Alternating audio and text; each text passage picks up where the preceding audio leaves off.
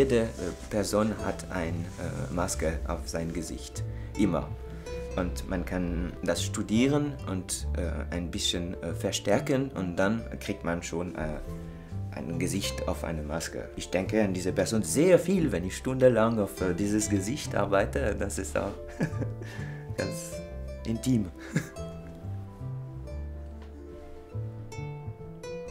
Ich mag schnitzen und mit dem Holz arbeiten.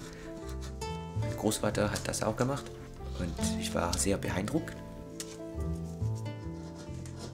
Das dauert mit dem Holz.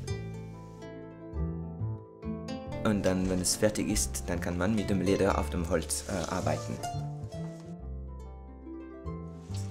Beide sind, äh, sind interessant, sehr, sehr anders, aber die passen sehr gut zusammen auch.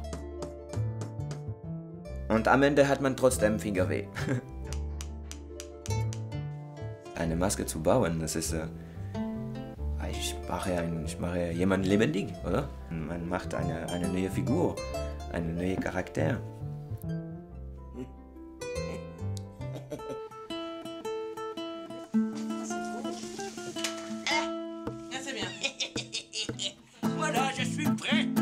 Wir waren Freunde und wir wollten ein Commedia dell'arte Stück zusammen entwickeln.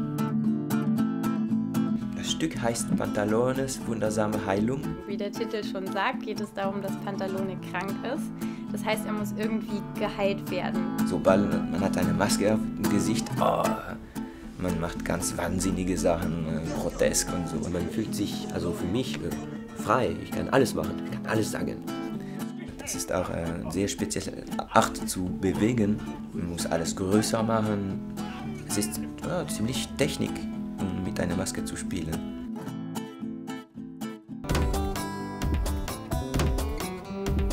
Comedia ist Straßentheater. Das ist sehr lebendig, die Straße, und das passt auch sehr gut mit Commedia dell'arte. Mit dieser Gruppe zu spielen, das macht mir Spaß. Ich freue mich auch äh, auf Tournee, unsere Parabon zu tragen, unsere Stuhl, die Gitarre, die Masken und so und so und so. Ja, eigentlich, äh, was mich am meisten inspiriert, ist, mit Menschen zu arbeiten. Also das ist, was mir am meisten Spaß macht. Und natürlich äh, diese, dieser wunderschöne Rock. ähm, aber ja, die Menschen.